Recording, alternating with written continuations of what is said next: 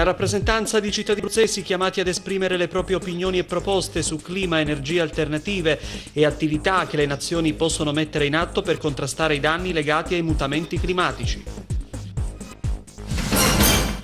Il polo di innovazione automotive fa il punto sull'attività svolta con 23 progetti di trasferimento tecnologico e 16 di ricerca e sviluppo portati a compimento negli ultimi sette anni.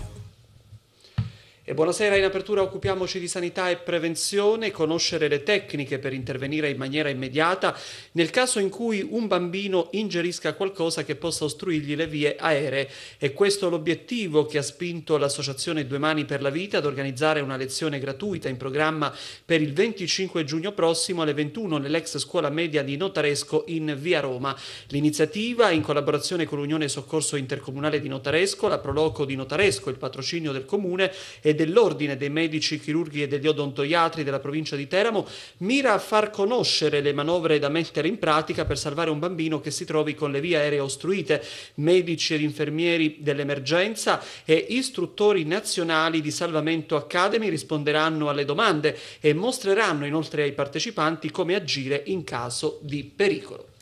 E cambiamo completamente argomento, lo avete sentito dai titoli, una rappresentanza di cittadini abruzzesi saranno chiamati ad esprimere le proprie opinioni e proposte su clima, energia alternativa e attività che le nazioni possono mettere in atto per contrastare i problemi per i cambiamenti climatici. Il servizio. Una folta rappresentanza di cittadini abruzzesi, diversi per età, occupazione, studi e inclinazioni, saranno chiamati ad esprimere le proprie opinioni e proposte sul clima, le energie alternative e tutte le attività che le nazioni possono mettere in atto per contrastare i danni legati ai mutamenti climatici. E questo è la consultazione planetaria sul clima e l'ambiente promossa dalla Regione Abruzzo in vista della conferenza mondiale sul clima in programma a dicembre a Parigi. A partire dalle 9 fino alle 17 nelle sale delle Camere di Commercio di Chieti 120 20 cittadini che hanno scelto di partecipare all'evento saranno collegati con altrettanti gruppi di lavoro sparsi in 80 paesi del mondo. La giornata si svolgerà in ciascun paese con le stesse modalità e con lo stesso protocollo metodologico, stesso numero di domande, di temi trattati e modalità di discussione e confronto. Ogni paese porterà poi i propri risultati alla conferenza preparatoria di Bonn il 15 giugno e all'Assemblea di Parigi. Nell'ambito di questo importante e decisivo appuntamento internazionale, la Regione Abruzzo, unitamente alla Toscana, è stata chiamata a rappresentare l'Italia e a formulare proposte programmatiche nell'ambito delle politiche mondiali sul clima e l'energia. Ma ci sono anche belle notizie che riguardano l'ambiente. Pineto infatti mantiene le tre vele di Legambiente posizionandosi al 56 posto tra le spiagge più ecosostenibili d'Italia.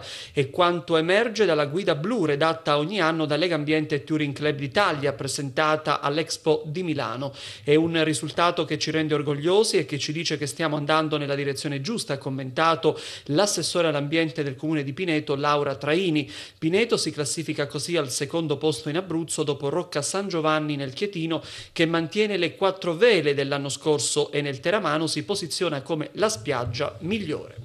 In materia di sviluppo c'è una realtà industriale abruzzese che cresce a dispetto della crisi del comparto.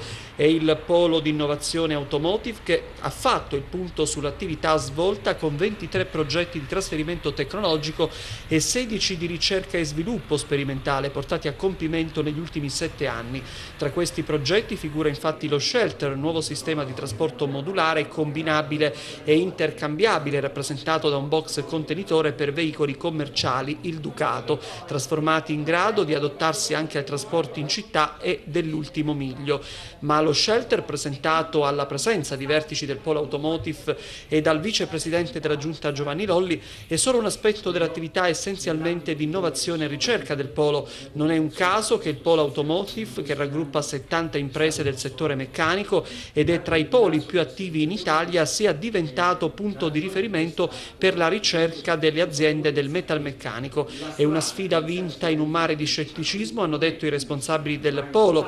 Automotive, aggiunto Giovanni Lolli, ha sempre avuto il sostegno e l'appoggio della giunta regionale nella convinzione che solo ricerca e innovazione possono permettere quindi alle aziende abruzzesi, grandi o piccole che siano, di stare in equilibrio stabile nel mercato internazionale. E con lo sviluppo ci salutiamo, grazie per averci seguito, buona serata.